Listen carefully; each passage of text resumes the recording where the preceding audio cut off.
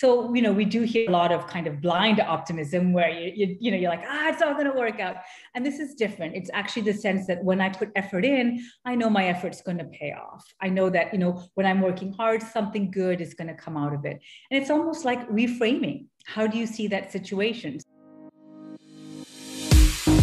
Here's the thing life is short, and things rarely go according to plan. You owe it to yourself to do more than just survive. You deserve to thrive. So start now. Take the chances, be yourself, pursue happiness, and live your best life. I'm your host, Taylor Stern, and welcome to the Thrivin' Podcast.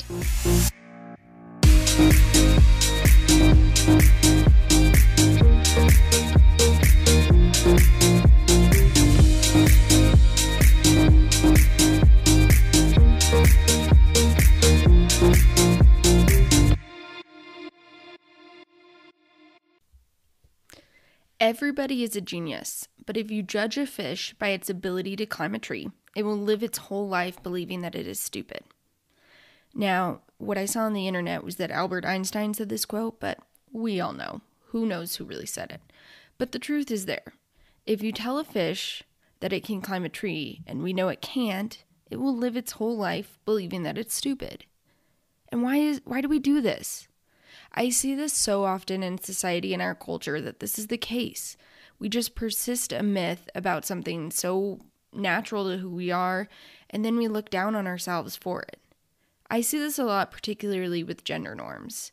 You know, boys will be boys, big girls don't cry, the list goes on. But let's bust these myths and get to thriving. And today you'll hear from Dr. Tracy Alloway an award winning psychologist, professor, and TEDx speaker. She's an author of, you know, just 15 books and published over 100 scientific articles about her research of the brain and working memory. But in this conversation, we dive into her latest book, Think Like a Girl 10 Unique Strengths of a Woman's Brain and How to Make Them Work for You. This grabbed my attention immediately because as a woman in sports, I get asked about being a woman in sports more than any other career question. And why is it such a big point of interest? What's the difference between male and female brains? We've always known that it's not one size fits all. So today, we're going to dispel the myths and stop underestimating our abilities.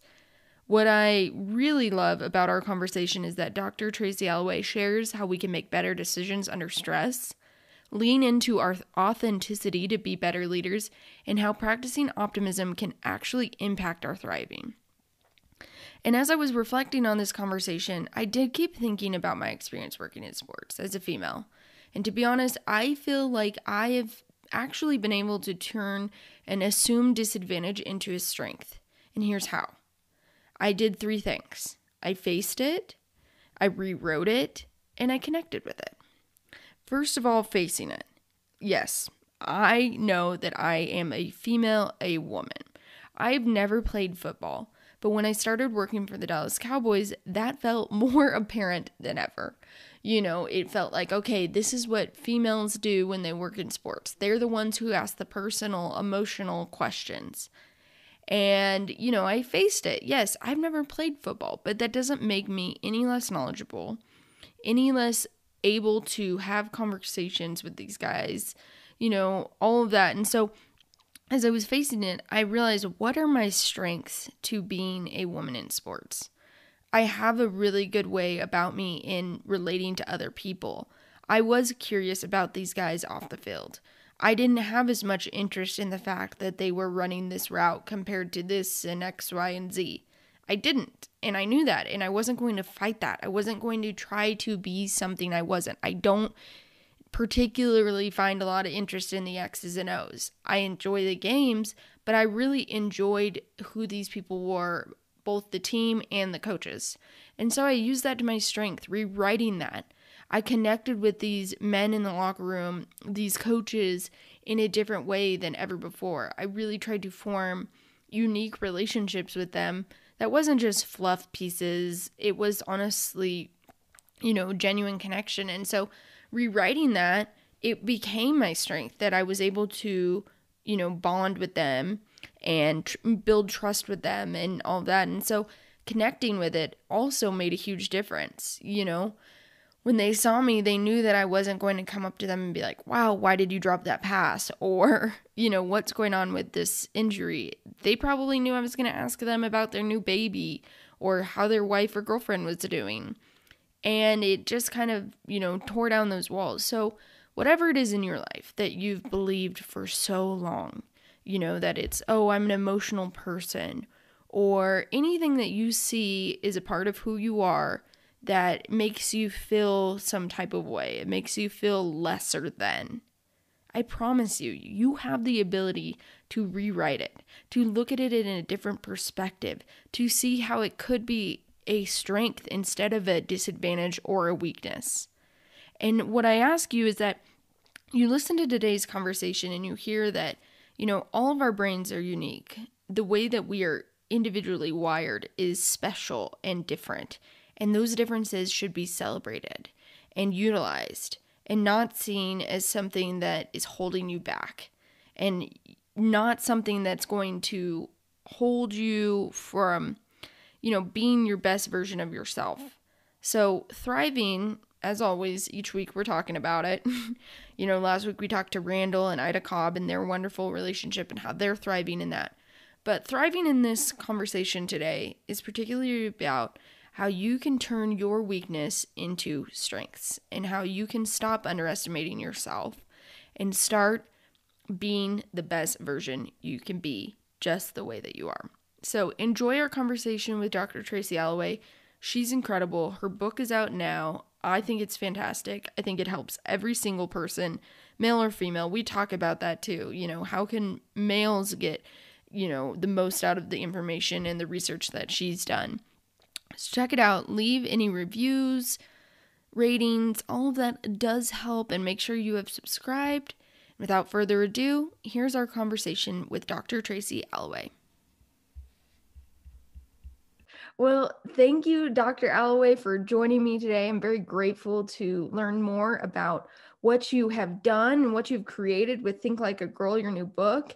And, you know, the first thing I want to ask you is, you know, as an award winning psychologist, who did you want to be when you were a little girl?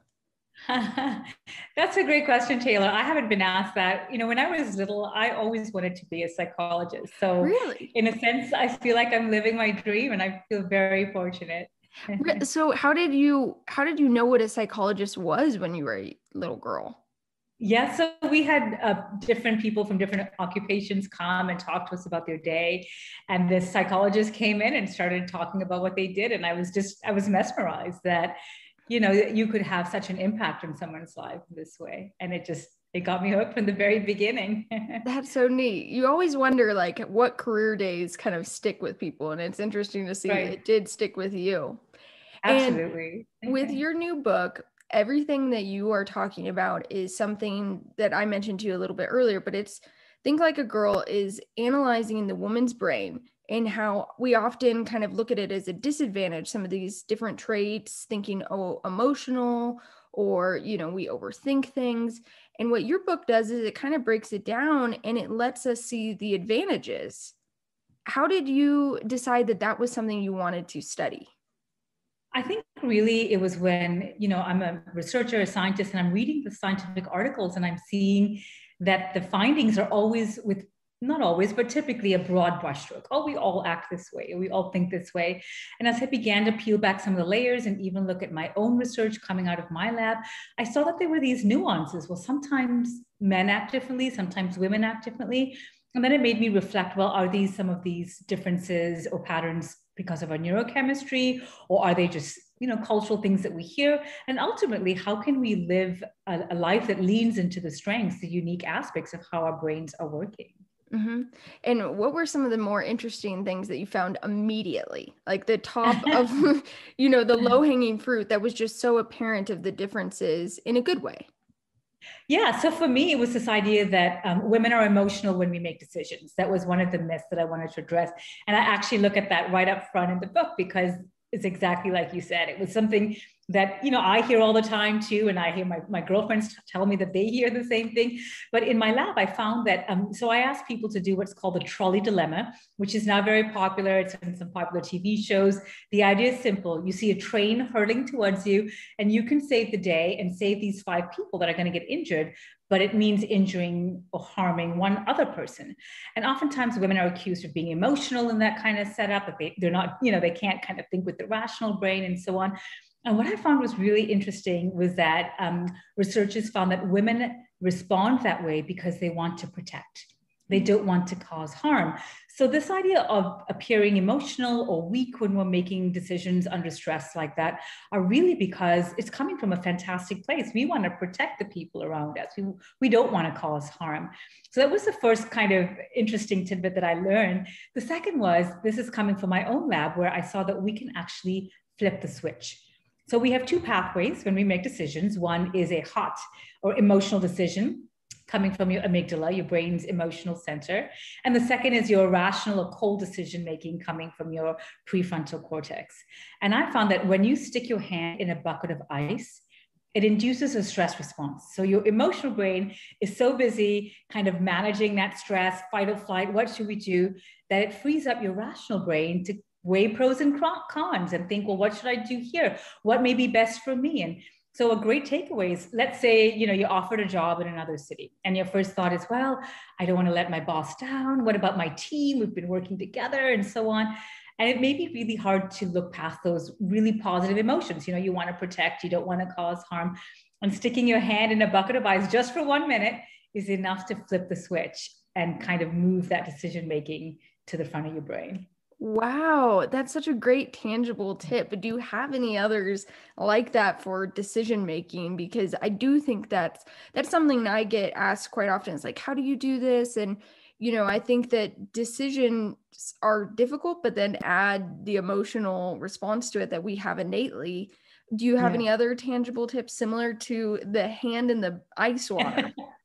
Yeah, so this actually refers to mental health. And again, something that we hear, especially with maybe Mental Health Awareness Month, um, that, well, women are more, experience more depression or anxiety or mental health concerns compared to men. So I really wanted to explore whether this was true. And I found that in part, our neurochemistry is wired in such a way that it makes us more attentive to situations that do cause uh, stress, anxiety, and so on. Now, what I think is exciting is that it's not deterministic. Just because our brain chemistry is this way, it doesn't mean that we're stuck on this path and we have to stick with it. And so, a simple tip is to change one word. Instead of saying, yes, but, so, you know, I had an interview, but, but I didn't get to do this, to say this, and mean so and so, change the but to an and. Yes, and I got to showcase some of my skills. I got to meet new people. I got to network. And what that does in the brain is it switches our perspective to one of gratitude, one of optimism. And there's a real power to language because we know from brain imaging studies that the left side of the brain, our Broca's area, our language center, is our optimism center. So the more we practice, like a muscle, the more we practice saying, yes, and, yes, and, it kind of strengthens that optimism side of the brain. And brain imaging studies actually show that over time, we see more activation right away compared to, you know, brain regions associated with a pessimistic outlook. Wow, that's so interesting, especially as gratitude has become such a forefront, kind of almost a buzzword in 2020 mm-hmm. and 21 after everything that we've experienced now you're finding scientific proof that gratitude and optimism can truly have long-term benefits for your life. Yeah and not only that so there was another study that i did for my lab where we had close to 4000 people men women all different ages all across the lifespan. And i was looking at precursors for experiencing depression depressive symptoms so things like I feel like I can't get out of bed. Nothing brings me joy anymore. You know, those kinds of feelings that we all sometimes have, but when it becomes so acute and so serious. And I wanted to know what happens before that. What can we kind of stop? What's that gatekeeper there? And I found it was actually optimism.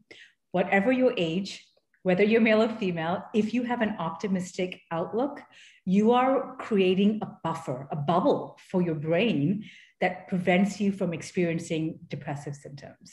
Wow. How would you define optimism? Yeah, that's a great question. So, optimism tends to be I think good things are going to happen in life. I believe the best when I put my effort forward. So, you know, we do hear a lot of kind of blind optimism where you, you, you know, you're like, ah, it's all going to work out. And this is different. It's actually the sense that when I put effort in, I know my effort's going to pay off. I know that, you know, when I'm working hard, something good is going to come out of it. And it's almost like reframing. How do you see that situation? So, again, back to the job interview example, instead of thinking, I never get these jobs. I've been in interviews for weeks now and I'm just not landing any of them. It, if you reframe and think, well, every time I do an interview, I learn something and I'm practicing it mm. in the mm. next interview. Something good is going to happen. That kind of hopefulness is a great way to think of optimism. Wow, I, I, that's so interesting to hear that. And you know, kind of going back to the book and the different tangible evidence and the different ways that we're now seeing the strengths of our own brain. What were the three top traits that you'd say women naturally have just when we're born, our natural instincts? Yeah. So one of them, I was looking at this idea of empathy, you know, mm. when you feel connected to someone, which is a little different from sympathy. It's where you actually can emotionally feel their pain a little bit. And I did find interestingly, and this was a surprise to me too, that they've done twin studies and looking at, again, the neurochemistry. And it's not something so much that we're born with, but that our culture cultivates it. So as young girls, we're, we're encouraged to be empathetic. We're encouraged to share and to play together and to think about other, other people's feelings more so than perhaps a young boy. And so part of this is it kind of, you know, the, the more you watch to something, the more it's going to grow. And I certainly saw that in the case of empathy.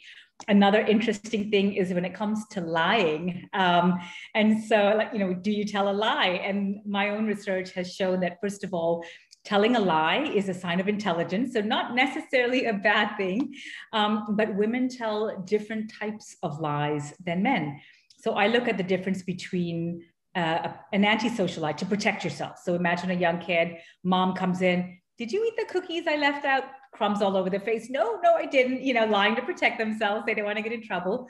And compared with a pro-social lie. Did you see your brother or sister eat the cookie? No, I didn't, because they want to now protect someone else. And um, we see from uh, research with adults that women are more likely to lie to protect someone else than they would for themselves. Mm. And I was, I wanted to see, you know, how far back can yeah. we go with it? So I looked at four-year-olds. We played a really simple game: just grab some paper balls, throw them in a basket, and we, you know, we turn around so we pretend we're not looking yeah, and like, so on. Yeah. Yeah, exactly. And there's a, you know, little a camera set up. And so of course we, we incentivize them to kind of cheat a little because we say there's lots of prizes if you make eight out of 10 baskets and we set them up to fail. So they're not going to make these baskets. So we want them to cross the line, pick it up, put it in the basket, and so on. And then we have another researcher do the same thing, but she's cheating. You know, she's picking up the ball, she's just popping them in the basket right away. And we ask the kids, "Did you cheat?" And then we say, "Did the did this other lady cheat too?" And so we see that even at four years old, the young girls would lie more to protect someone else than they would for themselves. I'm curious, do you think that stems from fear too, in the sense they're afraid of getting in trouble because I I feel like just speaking as a woman, so what you're talking about is so true. The protection, but also the fear of um, you know, reprimanding or anything that could get you in trouble or quote unquote set you back. That's a great question. And so, one of the things we were looking at is how these young boys and girls viewed their peer relationships as maybe an indicator, you know, how connected they felt. And we did see that for the young girls, the more they valued their peer approval, so mm. kind of connected maybe to this whole idea the more they value their their peers approval their friends approval the more likely they were to lie to protect someone else. So again this kind of social structure seems to set us up as women for acting a certain way. How do you balance kind of the social structure that you live in and just what would be best for you to succeed or quote unquote thrive in life yeah, that's a great question. And I look at that in my chapters on leadership. So I look at there's two different leadership styles. Uh, really, the myth or question that I was looking at is do women have to be more masculine to be a good leader or to be perceived as a good leader? And by masculine, researchers define this as you know, typically a little bit more aggressive. You're always right. You are the one that's setting the tone for the group and so on.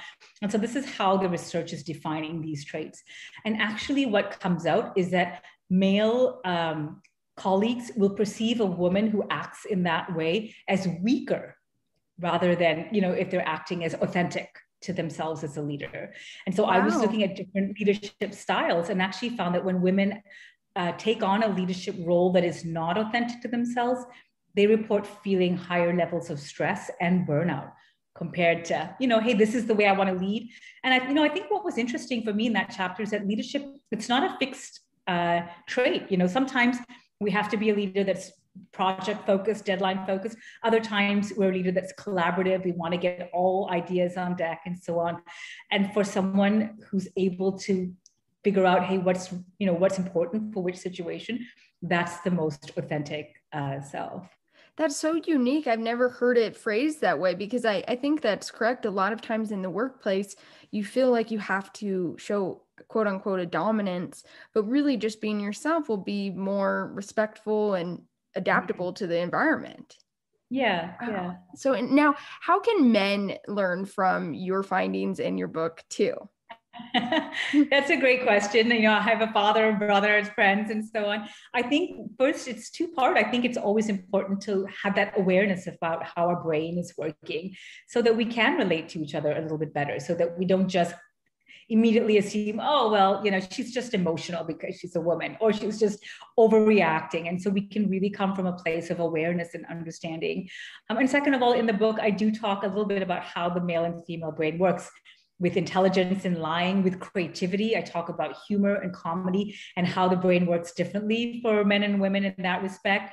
Um, also for risk taking. So actually, all the chapters offer a little insight to the male brain as well. How is how has your research impacted your own life?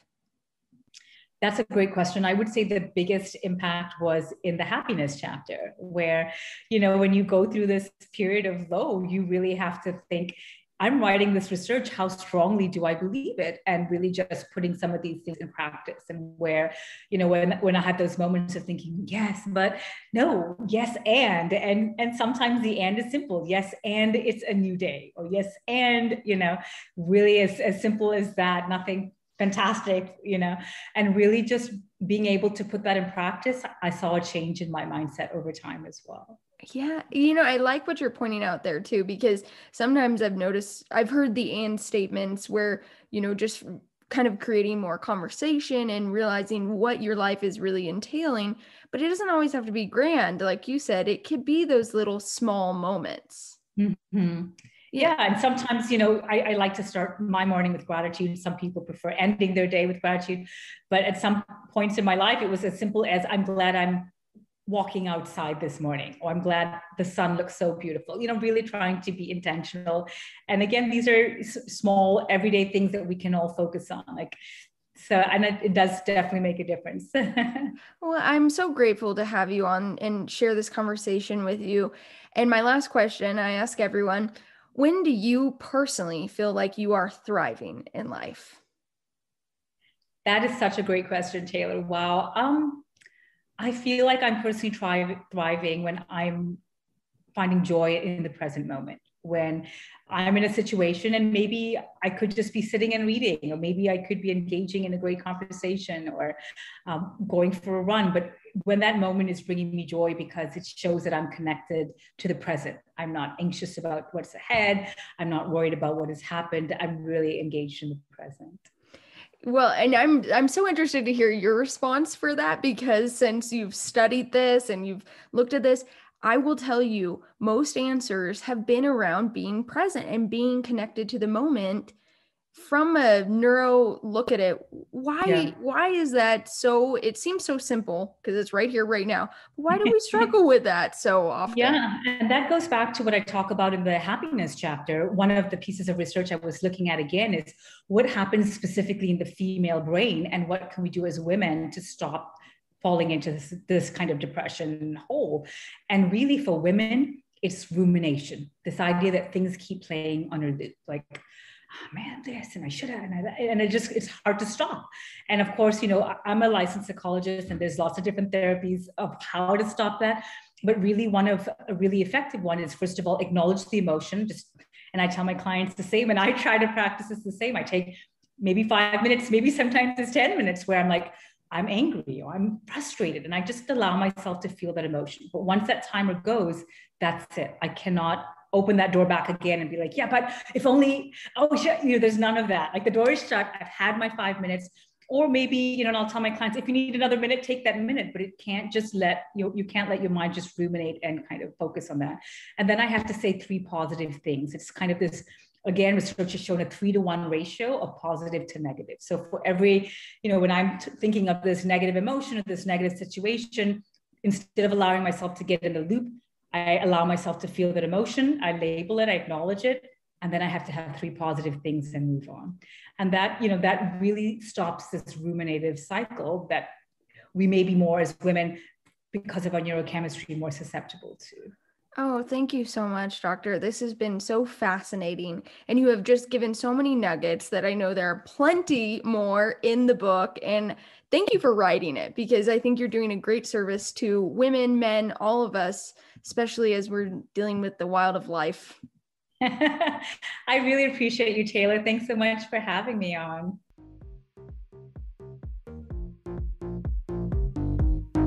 If you're loving the show, and I hope you are, I would love to hear from you. Head on over to your podcast app, scroll down to where it says ratings and reviews, and I'd love to hear your thoughts with a rating and review.